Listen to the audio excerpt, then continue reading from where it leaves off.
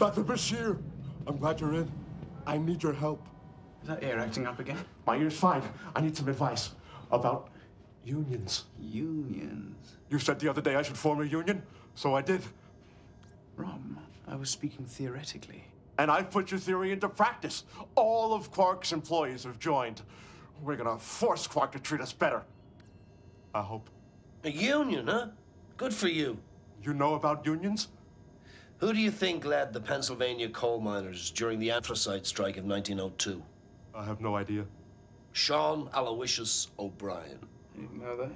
There's a lot of things about my family you don't know. Eleven months those mines were closed. They didn't open again until all the miners' demands were met. You mean we should force Quark to close the bar? Only as a last resort. I mean, if he's reasonable about your request, there's no need to strike. Quark reasonable? Ha! Unlikely. You'll have to strike, mark my words. And when you do, you'll have to be strong. Just like Sean O'Brien. Exactly.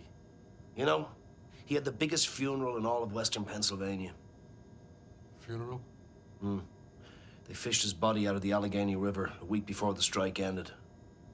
32 bullets he had in him. Or was it 34? No. He died a hero. He was more than a hero. He was a Union man.